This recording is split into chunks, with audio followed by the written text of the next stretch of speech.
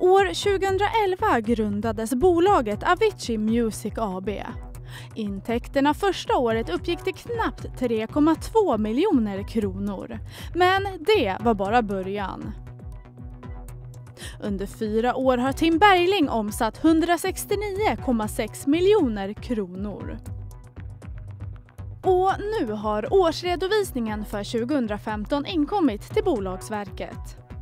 Där framkommer att DJn drog in nästan 64 miljoner kronor under 2015